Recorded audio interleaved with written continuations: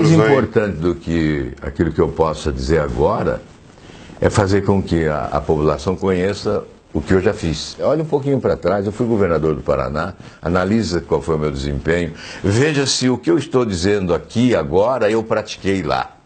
Por exemplo, quando eu combato a corrupção, dá uma olhadinha para trás e vê se eu combati lá atrás. Né? Aí, quando o eleitor exige experiência administrativa, é preciso verificar que experiência foi essa, né?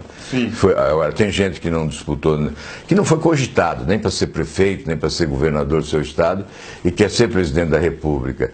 Então, esses são, são fatores que deverão influir na, na decisão do eleitor. E eu conto exatamente com isso, né? porque eu construí um patrimônio que devo apresentar agora ao Brasil. Aqueles que me conhecem já me julgam.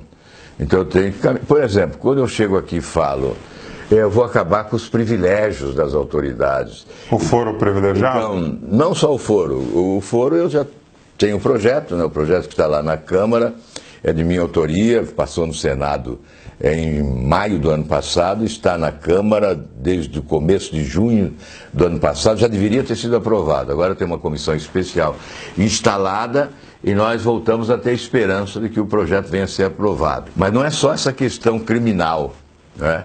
É a questão das vantagens financeiras ou pecuniárias. Né? Tá Então, eu falo de aposentadoria especial de ex-governador, eu falo de auxílio moradia, eu falo de verba indenizatória. Você é contra eu tudo falo isso? de todos esses penduricalhos que aumentam os salários das autoridades. Você é contra tudo isso? Eu sei, você é contra tudo isso, mas você abriu mão dos seus privilégios, né? Essa é uma pergunta que tem que ser feita a todos Vamos lá. os que aparecerem com esse discurso.